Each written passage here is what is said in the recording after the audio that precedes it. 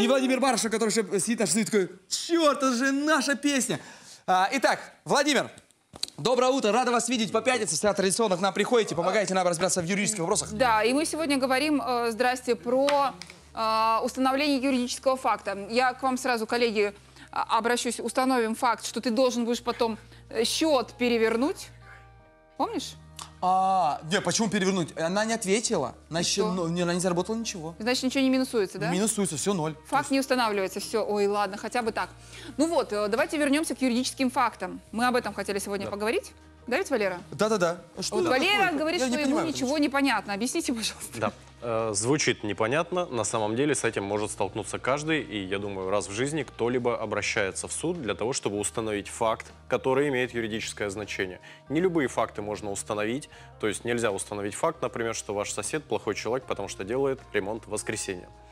Факт можно установить только в том случае, если он будет влиять на ваши права личные, порождать их, изменять, прекращать или имущественные права. Ну, иными словами, я думаю, будет понятнее, когда мы приведем примеры. Да-да-да, я Давайте. тоже ничего не понял. Очень часто в семье живут люди, близкие родственники, однако в паспортах у них разные фамилии. Это связано с буквой Е, Ё, О, А. Вот так получается. И иногда из-за этой ошибки нельзя, например, вступить в наследство. Нельзя, например, подать на алименты и так далее. Возникает вопрос, как это сделать? Вот необходимо установить факт, что вы являетесь близкими родственниками. А, да, но менять фамилию я, например, не хочу, да, эту букву менять не собираюсь. Да. Но я хочу сказать, что... а, Это же вот- моя жена, типа, Да, вот, например, муж. да, мы с Валерой, вот э, то, что Валера говорит, сейчас муж мой может смотреть, не говори это. Алексей, привет тебе. А, Так, спокойно. Значит, и вот его, например, э, факт какой-то устанавливаем. Так, прекращаем это все. Факт мы какой-то устанавливаем, да? А, и что нам выдают э, справочку, что это факт? Да. В первую очередь вы обращаетесь в ЗАГС для того, что, в ЗАГС для того, чтобы они устранили ошибку, ведь это ошибка, ведь при регистрации не могло быть такого, что вам дали разные фамилии. А если ЗАГС вам отказывает, тогда вы, вы уже идете в суд и приводите доказательства, что вы являетесь мужем и женой, братом и сестрой, отцом и ребенком и так далее. Как они это делают? К нам приходит специальная тетенька и говорит, «А вы что, правда вот это вот все? Я поверю вам на слово. Такая и подписала документы. Вы муж и жена, это правда. Вы делали вместе ремонт? Да. Ну, тем более, Ну да, все. вы ругаетесь очень громко, ну все понятно, Муж и жена. да. Как это Для того, чтобы запустить этот правовой механизм, необходимо составить заявление об установлении фактов, имеющих юридическое значение, и подать его в суд по месту вашего жительства. Есть одно исключение из этого правила по подсудности. А, Если речь идет о недвижимости, то мы подаем по месту нахождения недвижимости. Э, Затраты достаточно минимальные, что в плане времени, потому что составить такое заявление не составляет труда, если вы имеете общее среднее образование. И также финансовые затраты также небольшие, потому что госпошлина минимальна. Поэтому э, далее уже в судебном порядке, в судебном процессе судья выясняет те факты и устанавливает их, утверждает, то есть проводит исследование, и если доказательства налицо, то она говорит, что да, вы родственники, например. Ах, это делает судья, Другим, да? другим ярким примером является установление отцовства. Если мы, да, если брак не зарегистрирован, люди живут вместе, и у них появляется ребенок, то не все отцы идут в ЗАГС для того, чтобы написать совместное заявление, и у ребеночка в свидетельстве о рождении были указаны оба родителя. Женщина это сделать может одна, только если она состоит в зарегистрированном браке. Так вот, что же делать? Ну, не волоком же тащить мужчину в ЗАГС Да. для того, чтобы ребенка на себя записал. Поэтому э, женщина может пойти в суд с заявлением об установлении юридического факта отцовства. Туда приводятся, конечно, доказательства, такие как фотографии, свидетели и, возможно, даже тест ДНК.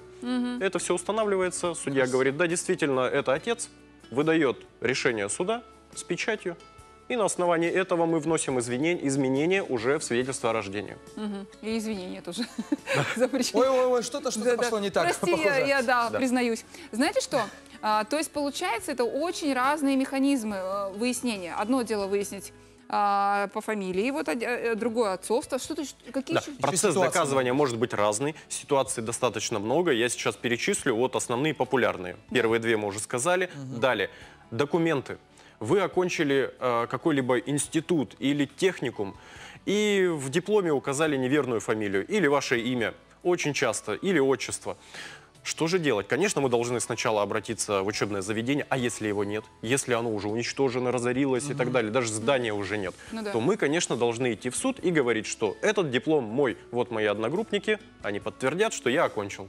А. Вот даже мой, например, педагог, И сидят который такие, меня учил. да плохо учился Сенька, но, но учился, да, зачет сдавал, мне три раза зачет сдавал. Да.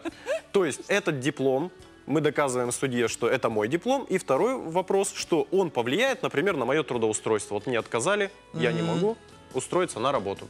Далее. э, Факт нахождения на иждивении. Если более года с нами живет дальний родственник, которого мы содержим, и после этого, а, значит, э, наследодатель, э, ну, родственник, который содержал, умирает, то такой родственник, которого содержали, имеет право на обязательную долю в наследстве, несмотря на то, что он не является наследником первой очереди. А как доказать, что он был на содержании?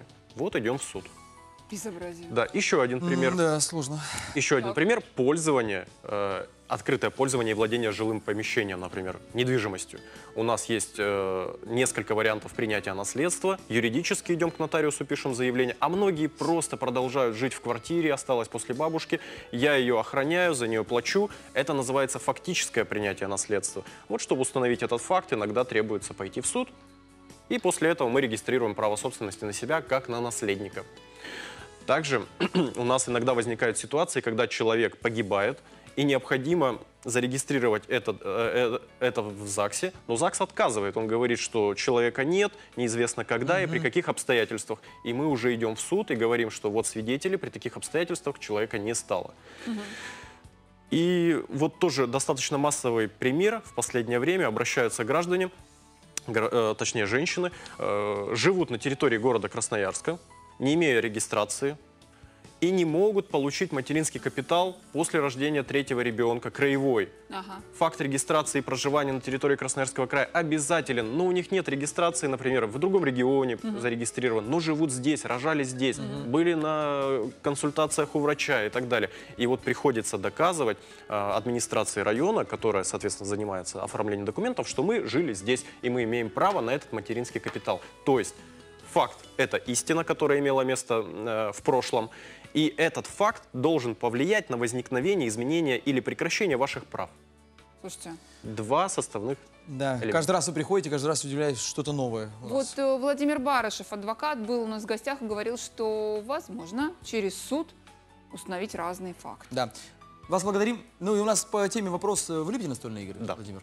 А! Да, я люблю, у нас большая компания, и мы играем, ну, популярнее всего мафия.